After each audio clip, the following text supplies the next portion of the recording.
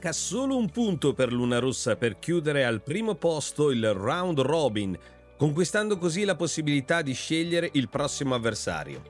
La sconfitta con Ineos Britannia ha evidenziato come alti venti, 18 nodi, ci mettono almeno rispetto a loro in inferiorità. È vero che questo vento, statisticamente parlando, non è usuale. Oggi si riparte alle 14 con Alinghi. Buon vento a tutti!